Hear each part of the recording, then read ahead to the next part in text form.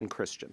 I want to ask you about Betsy DeVos's brother, Erik Prince, who you've been talking about, the founder of Blackwater. In July, he spoke to Steve Bannon, who at the time was the head of Breitbart News, the white supremacist, white nationalist news site. Who, Steve Bannon, who's now Trump's senior advisor.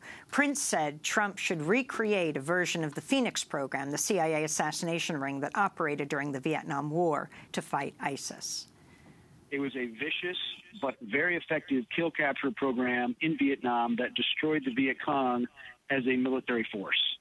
That's what needs to be done to the funders of Islamic terror, and that would be even the the wealthy radical Islamist billionaires uh, funding it from the Middle East um, and any of the other illicit activities they're in. That was Erik Prince, the significance of what he's saying here, Jeremy. Well, you know, remember, Erik Prince views himself as the rightful heir to the legacy of uh, Wild Bill Donovan, who was the, the head of the agency that was the precursor to the CIA. And, uh, you know, immediately after 9/11, uh, Erik Prince uh, became very, very close to a number of people within the um, uh, the CIA and also Dick Cheney and and, and Dick Cheney's office.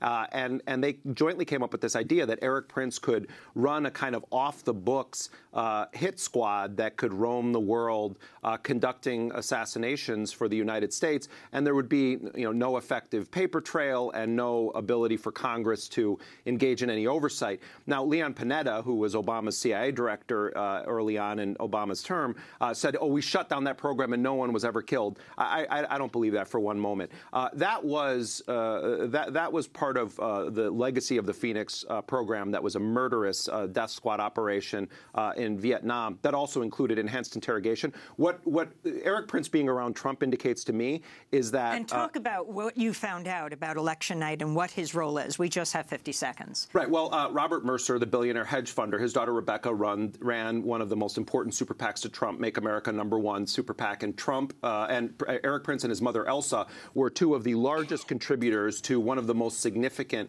super PACs that supported um, Donald Trump. Uh, Erik Prince is very close to uh, Robert Mercer. Prince was also at the uh, Heroes and Villains party that Mercer threw in Long Island after the election. And in fact, uh, uh, there's a, a, picture that Peter Thiel, the, the right wing billionaire who destroyed Gawker, a picture picture of Peter Thiel, Donald Trump, and Erik Prince uh, that Peter Thiel says is uh, not safe for the internet. Um, but but the, it's clear that Erik Prince, through Betsy DeVos, through Robert Mercer, and through his very uh, right wing paramilitary crowd, uh, has the ear of uh, President elect Donald Trump. And our understanding from a very well placed source is that Prince has even been uh, advising Trump on his selections for the staffing of the Defense Department and the State Department. We're going to have a post show discussion and post online at democracynow.org. That's Jeremy Scahill, co founder of The Intercept. This is Democracy Now! I'm Amy Goodman. Thanks for joining us.